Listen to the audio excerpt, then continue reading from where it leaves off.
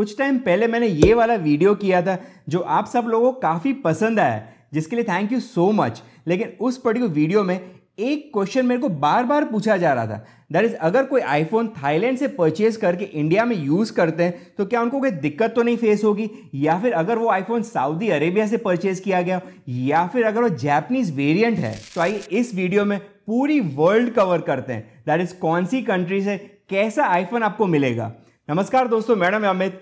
Technology की दुनिया में हर दिन हर कुछ नया सीखना चाहते हो तो ये चैनल स्पेसिफिकली आपके लिए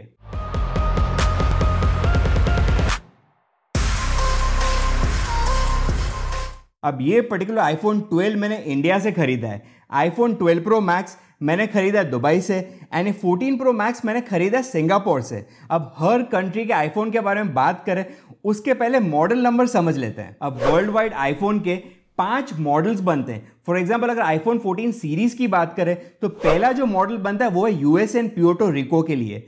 दूसरा जो मॉडल बनता है, वो है Canada Japan Saudi Arabia Mexico Guam and US Virgin Islands के लिए। तीसरा जो मॉडल नंबर बनता है, वो है for China mainland Hong Kong and Macao चौथा मॉडल नंबर बनता है रशिया एंड नेबरिंग कंट्रीज़ के लिए। एंड पांचवा जो मॉडल नंबर बनता है, वो बाकी सारी कंट्रीज़ के लिए बनता है जिसको हम बुलाएँगे ग्लोबल वर्जन। तो इन पाँचों ही वर्जन में डिफरेंस आता है उसके L T and five G band में कुछ फीचर डिफरेंसेस होते हैं एंड कुछ फ़िज़िकल डिफरेंसेस होते हैं। तो फॉर एग्जांपल अगर बैंड्स की बात करें से फॉर एग्जांपल जापान में कोई पर्टिकुलर बैंड है जो अवेलेबल नहीं है, लेकिन वो पर्टिकुलर बैंड इंडिया में चल रहा है। तो इंडिया में जब जापान वाला आईफोन आप लेके आओगे तो जब भी उस पर्टिकुलर बैंड से आप कनेक्ट करने की कोशिश करोगे तो सिग्नल ड्रॉप्स होंगे। लेकिन इसका मतलब ये नहीं कि वो आईफोन आप इंडिया में यूज़ ही नहीं कर सकते हो, क्योंकि बाकी सारे बैंड्स उस पर्टिकुलर आईफोन के इंडिया में फिर भी चलेंगे। तो कुछ बैंड्स चलेंगे कुछ बैंड्स नहीं चलेंगे, जिसके वजह सिग्नल ड्रॉप ज़रूर होंगे, लेकिन इतने नोटिसेबल नहीं होंगे, जिसके वजह स्मूथली यूज़ कर पाओगे उस पर्टिकुलर आईफोन को इंडिया में। अब पता कैसे करेंगे जो आईफोन आपने खरीदा है, उसका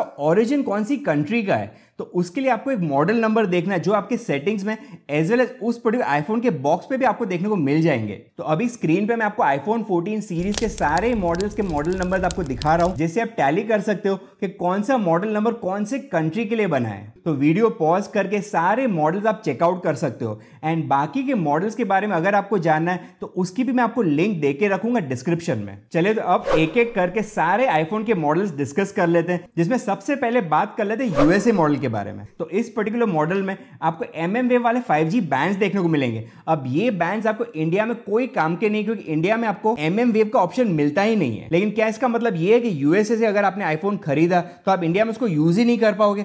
आप सर्टनली उसको यूज़ कर सकते हो। सिर्फ़ उसके जो कुछ बैंड्स हैं, वो कोई काम के नहीं है आपके, लेकिन बाकी सब बैंड्स आप इंडिया में यूज़ कर सकते हो।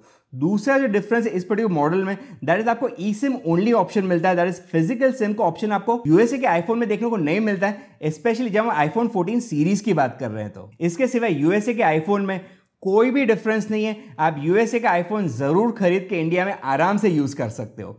लेकिन अब बात कर लेते हैं दूसरे मॉडल के बारे में। तो दूसरा जो मॉडल है, वो बनता है Canada Japan and Saudi Arabia के लिए। अब जापान का जो वेरिएंट है, वो आपको सबसे सस्ते में सस्ता देखने को मिलता है। लेकिन इसके पहले जापान के वेरिएंट में एक दिक्कत थी। अगर उस आईफोन को आप साइलेंट मोड में डालते हो उसके बाद भी उसे कैमरा का शटर साउंड ऑफ़ नहीं होता था। लेकिन ये प्रॉब्लम अब एप्पल ने रिमूव कर दिया है। दैट अगर आप जैपनीज फ़ोन कोई और कंट्री में यूज़ करते हो अदर देन जापान तो फिर उस आईफोन को साइलेंट मोड पे डालने के बाद आपको शटर साउंड सुनने को नहीं मिलेगा। अब आप मेरे को ये पूछोगे कि जब ये इशू ऑलरेडी सॉल्व हो चुका है तो फिर जैपनीज वेरिएंट इतना सस्ता क्यों है? तो इसके दो रीजन है। नंबर वन कि ये ट्रेंड चलता आ रहा है कि सिंस पहले से शटर साउंड का प्रॉब्लम था, इसलिए जैपनीज फ़ोन काफ़ी सस्ते बिक रहे थे। तो वो ट्रेंड अभी भी चल रहा है इवन आफ्टर वो प्रॉब्लम सॉल्व होने के बाद भी। एंड दूसरा मेन जो रीजन है दैट इज़ जापान के टैक्सेस नेक्स्ट बात कर लेते हैं सऊदी अरेबिया की। तो अगर आप आईफोन सऊदी अरेबिया से परचेज करके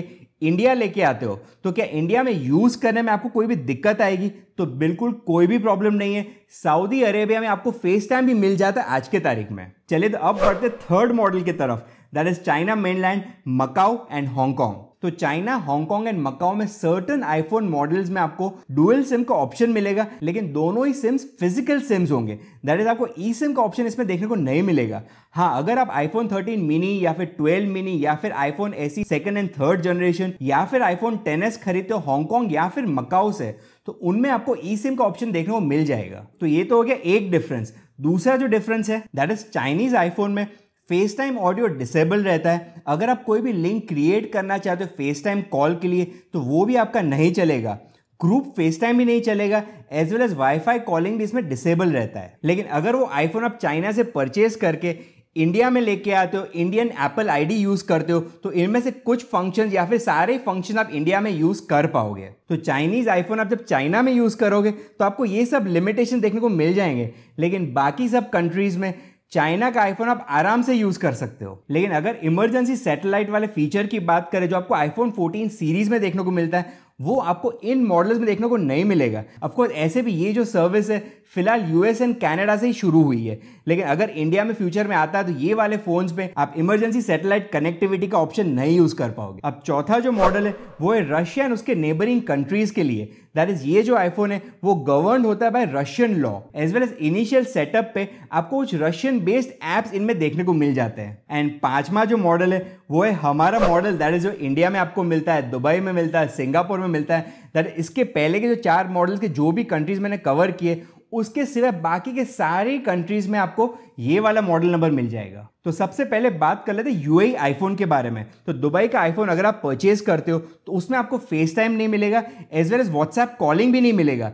लेकिन अगर वो आईफोन आप इंडिया लेके आते हो इंडियन एप्पल आईडी डालते हो तो फिर इंडिया में आप फेस टाइम आराम से यूज़ कर सकते हो। जैसे कि 12 प्रो मैक्स मैंने दुबई से परचेज किया है इंडिया में क्या बहुत सारे कंट्रीज़ में फेस टाइम में यूज़ भी कर पाया हूँ as well as WhatsApp calling भी यूज़ करता हूँ इस पर्टिकुलर फ़ोन में। अब यूए में आपको जो आईफोन देखने को मिलते हैं, वो है टीआरए वर्जन अब अगर आपको ये चेक करना है कि आपका जो आईफोन वो टीआरए वर्जन है कि नहीं तो सिंपल आपको आपके आईफोन के सेटिंग्स में आना है। वहाँ पे आपको आना है जनरल में। जनरल के अंदर आपको आना है लीगल एंड रेगुलेटरी एंड यहाँ पे आपको सारे लीगल कंपैटिबिलिटीज दिख जाएँगे, जैसे कि यूए का टीआरए वर्जन हो गया सिंगापुर का आईएमडीए हो गया थाईलैंड का भी यहाँ पे आपको दिख जाएगा, फिलीपींस का एनटीसी हो गया तो ये सब आप यहाँ से आके चेक कर सकते हो। नेक्स्ट बात कर लेते साउथ कोरिया के आईफोन्स के बारे में। तो लोकेशन शेयरिंग सपोर्टेड नहीं होता है साउथ कोरिया में। लेकिन जहाँ तक मैं समझता हूँ अफकोर्स मैंने साउथ कोरिया का आईफोन यूज़ नहीं किया लेकिन ये फ़ोन अगर आप इंडिया में यूज़ करते हो इंडियन एप्पल आईडी के साथ यूज़ करते हो तो लोकेशन शेयरिंग इस पर्टिकुलर आईफोन में चल सकता है। इसके सिवाय अगर आप कुवैत से आईफोन लेके आते हो,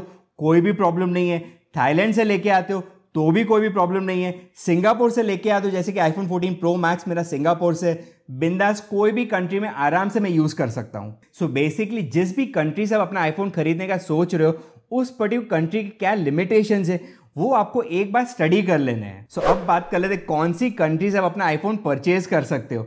तो पर्सनली स्पीकिंग कोई भी कंट्री से आप कोई भी आईफोन खरीद सकते हो इंडिया क्या कोई भी कंट्री में जाके वो आईफोन यूज़ भी कर सकते हो। अफकोर्स कोई फीचर आपको कोई पर्टिकुलर कंट्री में नहीं मिलेंगे। इसलिए आपको पहले ये समझ लेना है कि कौन सा फीचर कौन सी कंट्री में मिल रहा है, कौन सी कंट्री में नहीं मिला है, जो मैं आपको डिटेल में इस वीडियो में बता चुका हूँ। एंड अगर वो फीचर आपके लिए बहुत ही इंपॉर्टेंट है या फिर नॉट इंपॉर्टेंट है तो अकॉर्डिंगली वो कंट्री आप चूज़ कर सकते हो आपके लिए। लेकिन as far as use is concern या फिर as far as quality is concern तो सारे कंट्री के आईफोन्स एक बराबर है, कोई भी प्रॉब्लम नहीं इन सब आईफोन्स में। तो बस इतना ही था मुद्दा इन आईफोन्स का। लेकिन इन आईफोन्स में कुछ और कैटेगरीज भी है। दैट इज़ लॉकड है अनलॉक्ड है ओपन लाइन है जीपीपी आईफोन है। तो ये सब आपको ज़रूर चेकआउट करना है। एंड उसके लिए ये वाला वीडियो ज़रूर देखें। बाकी वीडियो अगर आपको पसंद आया तो लाइक एंड शेयर ज़रूर करिए। चैनल पर पहली बार सब्सक्राइब कर सकते हो। पास में आपको जो बेल आइकन दिख रहा है उस पर भी क्लिक ज़रूर करिए। देखते रहिए ऑलोजिन टेक इन हिंदी मिलते हैं नेक्स्ट वीडियो में।